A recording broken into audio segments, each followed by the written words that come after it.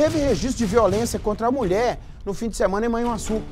Lilian Rosa Nunes, de 29 anos, ela foi morta pelo irmão durante uma festa. Quê? Foi morta pelo irmão? Durante uma festa de aniversário. É. Esse crime contra a vida foi registrado na madrugada desse sábado. Ei, Roberto Tomás, o boa tarde é só protocolar mesmo, porque com a notícia dessa aí, o irmão matou a irmã? Verdade, nego. Fim dos tempos, irmão desconhece irmão. Esse caso aconteceu lá no bairro Santa Luzia, em Manhuaçu, onde esse homem entrou dentro de uma festa, né, onde essa irmã dele estava e, segundo informações, ele estava transtornado, começou a discutir com pessoas que participavam da festa e, durante um momento, a irmã dele, a Lilian Nunes, tentou intervir nessa confusão, nesse bate-boca dele. Ele sacou um revólver e atirou a erro então atingiu a face da Lilian com um tiro e também atingiu outras pessoas que participavam da festa com tiros de raspão.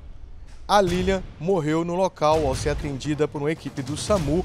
Ela não resistiu aos ferimentos e ali mesmo o médico protocolou o óbito dessa mulher. O rapaz, o irmão dela, um homem de 41 anos, fugiu do local porque ele estava armado e transtornado então ninguém precisou qual é o lugar e a direção que ele fugiu.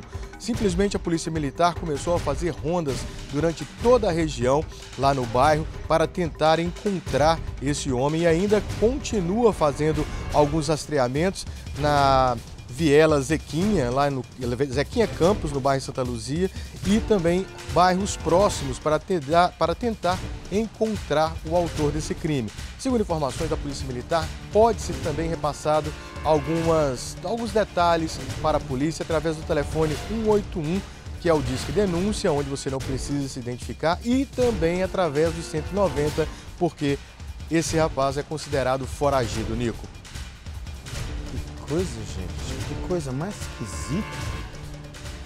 Nossa, Deus. Vamos matar a irmã. Numa festa de aniversário, gente. Todo aniversário dessa pessoa que estava comemorando, a pessoa já lembra do aniversário, lembra desse episódio.